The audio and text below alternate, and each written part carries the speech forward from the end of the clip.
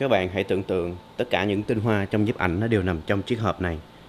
Và trong video ngày hôm nay, chúng ta sẽ tìm cách để mở nó.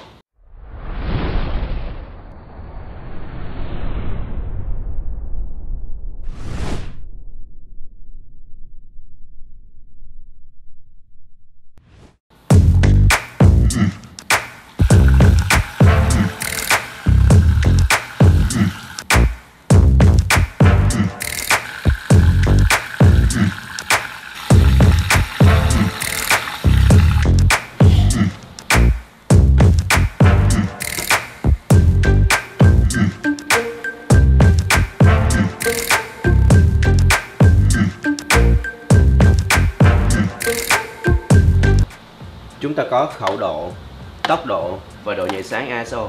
Khoảng một năm rưỡi trước thì mình đã có làm một cái video gọi là tốc độ, khẩu độ và độ nhạy sáng ISO. Thì trong cái video này mình đã đơn giản cho các bạn biết là khẩu độ, tốc độ và độ nhạy sáng ISO là như thế nào và cái sự liên kết từ nó. à, hôm nay á, mình sẽ làm một cái video khác để nói về cái sự liên kết của khẩu độ, tốc độ và độ nhạy sáng ISO. Mình sẽ làm rõ vấn đề thì như các bạn cũng biết như mình đã có đề cập trong cái video lần trước là nhiệm vụ của tất cả tốc độ, khẩu độ và độ nhạy sáng ISO là cung cấp ánh sáng cho một bức ảnh. Thì các bạn hãy tưởng tượng đây là cái lượng ánh sáng có thể đến được từ tốc độ, khẩu độ và độ nhạy sáng ISO. Cái nhiệm vụ của ba cái thứ này là phải lắp đầy cái ly này để cho bức ảnh của mình nó đúng sáng. Bây giờ chúng ta sẽ đến tới trường hợp đầu tiên nha các bạn. Mình sẽ chụp ảnh của con búp bê mà mình yêu thích là con búp bê này.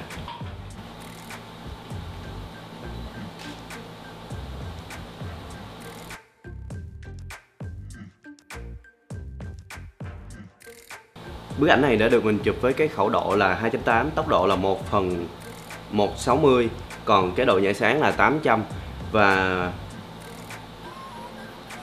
trong cái trường hợp vừa rồi thì mình có khẩu độ là 2.8, tốc độ là 1 phần 160 thì uh, đây là cái lượng ánh sáng mà khẩu độ 2.8 sẽ cung cấp được cho mình.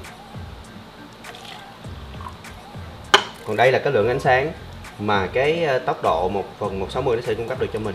Vấn đề còn lại đó là nằm ở độ nhạy sáng. Thì khi này á, cái độ nhạy sáng của máy, nó sẽ đạt tới 800 để nó fill up như đây, để nó để nó làm đầy cái phần còn lại của cái ly. Và nếu như các bạn để độ nhạy sáng lên 1200 mà cái tốc độ và cái độ nhạy sáng của các bạn không thay đổi, thì khi đó cái ly này nó sẽ bị đầy. Các bạn rót lên nó sẽ bị tràn. Hay nói cách khác là bức hình của các bạn nó sẽ bị không còn đúng sáng nữa mà là dư sáng.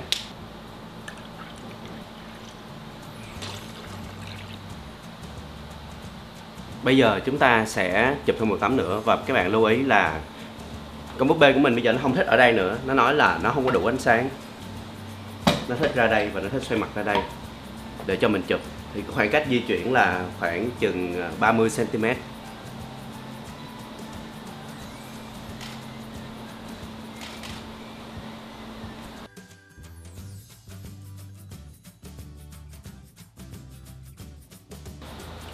vì lý do là mình muốn chụp con búp bê này ở cái khẩu độ là giống như cũ khẩu độ là 2.8 thì và cái độ nhạy sáng là 800 mình muốn để im độ nhạy sáng. Thì trong cái cái trường hợp này á hai cái này nó cung cấp một cái lượng ánh sáng như cũ so với cái bức hình cũ.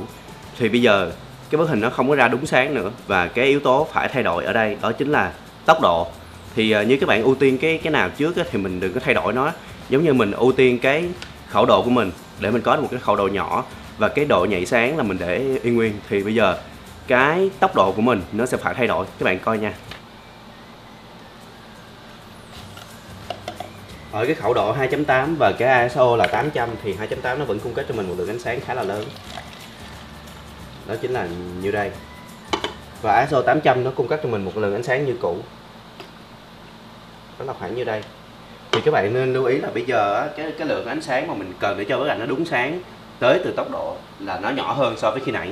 Thì khi nãy á, mình chụp với cái tốc độ là một một phần 160 còn ở cái bức ảnh thứ hai này á, thì tốc độ nó ra 1 phần 200 là nó đã giảm xuống một tí rồi nó nói là à, máy không cần một cái khoảng thời gian lâu đến như vậy để mà có được ánh sáng đúng thì nó sẽ giảm xuống 1 phần 200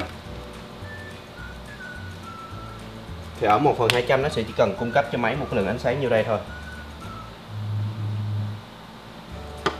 Là nó vừa đủ sáng. Các bạn thấy không? Nhìn như là một ly soda thơm ngon. Bây giờ mà nếu như mà mình để cái tốc độ như cũ á, là một phần 160 á có nghĩa là nó sẽ cung cấp thôi cho máy thêm một tí ánh sáng nữa thì bây giờ cái ly này sẽ bị đầy sẽ bị tràn ra. Và có nghĩa là bức hình của các bạn đã dư sáng rồi. Như các bạn cũng thấy thì ba cái yếu tố này nó phải liên tục thay đổi để mà dung hòa với nhau để nó cho ra một tấm hình đúng sáng. Nếu như mà mình giữ một cái thông số để mà chụp cho tất cả những cái trường hợp ánh sáng khác nhau. Các bạn lưu ý là nguồn sáng của mình nó sẽ thay đổi liên tục liên tục. Mình vừa rồi thì mình đã thay đổi con búp bê chỉ có 30 cm thôi mà mình đã phải thay đổi cái à, lượng ánh sáng tới từ những cái thông số khác nhau của mình. Thì như các bạn cũng thấy là đó là lý do tại sao mà tất cả các bạn hỏi mình là mình để thông số chụp cho các bạn xem hoặc là uh, thông số như thế nào thì ra được tấm hình như vậy. Hoàn toàn mình không thể nào trả lời được tại vì thật sự thông số là nó sẽ khác với tất cả mọi trường hợp trong cái trường hợp của mình là cái lượng ánh sáng nó tới từ nguồn sáng là như nhau, mà mình chỉ di chuyển con búp bê một tí xíu thôi mà mình đã phải di chuyển thông số rồi, thì nó không có một cái thông số nhất định. Và trong cái video này á, mình mong là các bạn hiểu được cái sự quan, cái mối quan hệ giữa tốc độ, khẩu độ và độ nhạy sáng ISO như thế nào, để chúng ta có thể vận dụng tốt hơn trong nhiếp ảnh. Cũng giống như là định lý Pythagore trong toán học vậy đó, trong hình học, thì khi các bạn hiểu được cái định lý này thì mình có thể vận dụng để mà tạo ra tất cả những cái định lý sau này giống như là nó là một cái cơ bản để cho các bạn vận dụng để mà tạo ra được những cái ờ, định lý hoặc là những cái làm toán sau này. Thì nhiếp ảnh cũng như vậy khi mà các bạn đã hiểu được cái mối liên hệ giữa ba cái yếu tố này rồi thì các bạn có thể vận dụng và xử lý những bức ảnh khác nhau theo những trường hợp khác nhau để mà tạo cho nó thành một cái bộ môn nghệ thuật của riêng bản thân mình. Thì uh, mình rất mong một cái video này giúp đỡ được cho các bạn. Uh, thật sự thì cái video mà lần trước mình làm mình đã nói rất rõ là khẩu độ tốc độ và độ nhạy sáng ISO mình nghĩ cũng là đủ rõ để cho các bạn hiểu về khái niệm của ba cái này rồi. Trong cái video này thì mình làm rõ hơn một tí về cái mối liên hệ giữa ba cái vấn đề này với nhau, thì mình mong là các bạn hiểu. Rất cảm ơn các bạn. Bây giờ thì chúng ta sẽ mở cái hộp.